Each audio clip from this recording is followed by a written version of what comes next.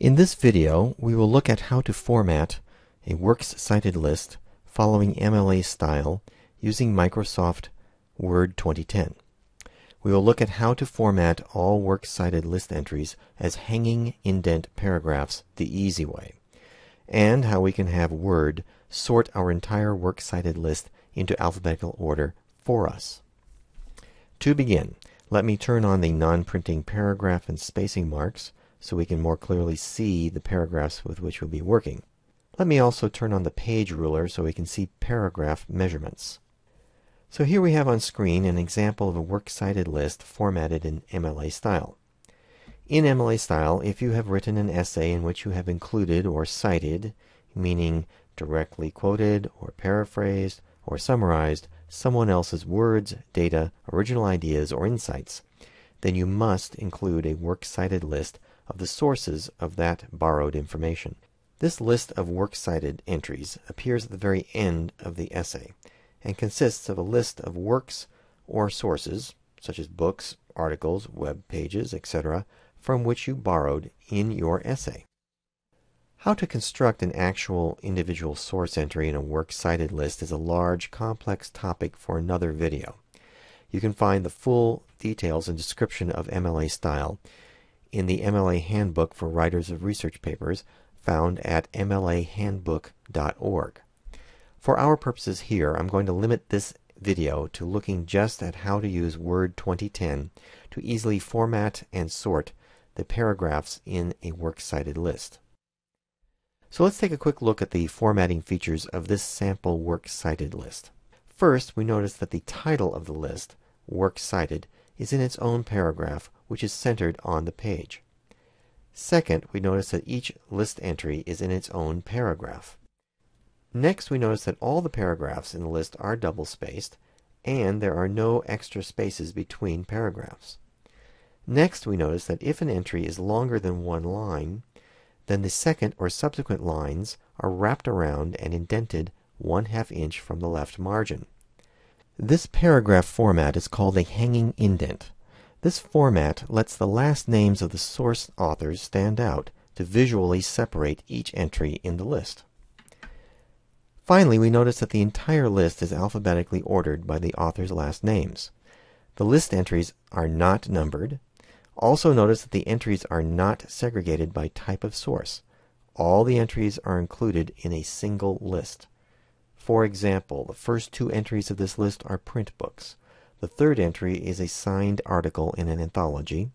The fourth entry is another print book, while the fifth entry is a definition in a dictionary, and so on.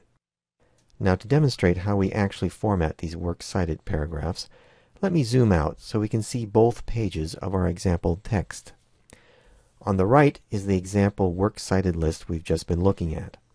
On the left, I have a group of paragraphs with no special formatting at all. The list entry paragraphs contain dummy text so that we can focus just on formatting the paragraphs. When we're done, the left-hand page will look just like the right-hand page. First, let's give all these paragraphs double line spacing. Select all the list entry paragraphs we want to format by holding down the left mouse button while dragging the mouse. You can also select text by holding down the Shift key and tapping the arrow keys.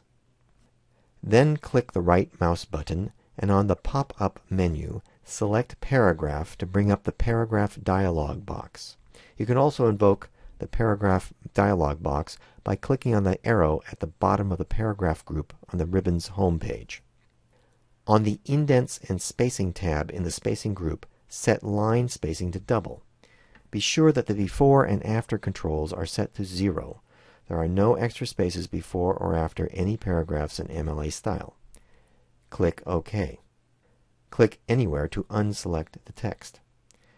Next, we need to center the works cited title paragraph. I click anywhere inside the paragraph, and then in the paragraph group, I click the center icon. You can also use the keyboard shortcut Control E to center any selected paragraph. Now we need to apply the hanging indent format to all the list entry paragraphs. First, we select all the list entry paragraphs we want to format. Then click the right mouse button and on the pop-up menu, select Paragraph to bring up the paragraph dialog box again. On the Indents and Spacing tab in the Indentation group, set the Special menu to Hanging. The by default should be 0.5 inches. Notice below that we can see a little preview of the paragraph format as we work. The left and right indentations should be set to 0. Click OK, and now all our list entries appear as hanging indent paragraphs. The last thing we can have Word do for us is sort all our list entry paragraphs alphabetically by the first word in each paragraph. I've started each of these dummy list entries with an author's name. Last name, comma, first name, period. With the paragraphs still selected, I'll go up to the paragraph group on the ribbon's Home tab and click on the Sort button to open the Sort Text dialog box. In the Sort By section, select Sort By Paragraphs, Type, Text, in an ascending order. Keep the default No Header row. Click OK and Word sorts the paragraphs into alphabetical order. One note of caution with sorting. Be careful that you have actually selected exactly the paragraphs you wish to sort. If you do not select any paragraphs, then Word will sort all of your essay's paragraphs. Not what you want, I'm sure. And that is how to format the Works Cited list in MLA style using Word 2010. Thanks for watching.